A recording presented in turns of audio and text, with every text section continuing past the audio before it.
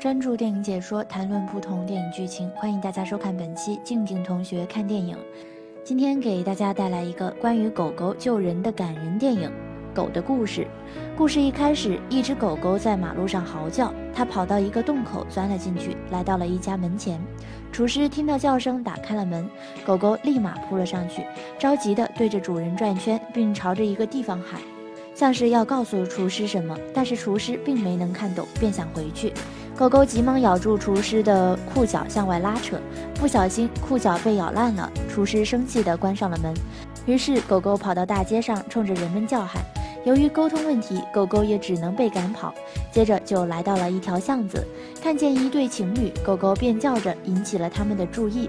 狗狗继续叫着，似乎在告诉他们什么，但他们也只是面带微笑地摸着狗狗。没办法的狗狗突然咬住了女孩的围巾。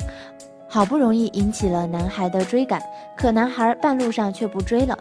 失落的狗狗站在下着雨的街道，看着自己的倒影，有些失落。可是他没有放弃，他又尝试着叼走老爷爷的伞。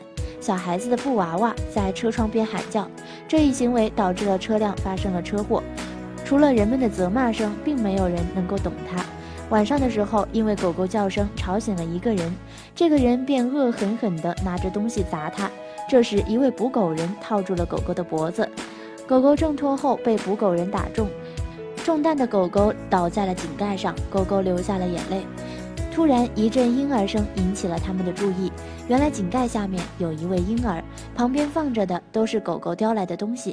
原来狗狗之前目睹了婴儿被妈妈抛弃，为了救婴儿跑了一整天，最后自己也牺牲了。原来自己的想法不能被理解时，会有那么多的悲剧发生。有时候你不被理解时，是不是也像狗狗一样被嫌弃？如果每个人都能够多一份理解，生活是不是会变得更加美好呢？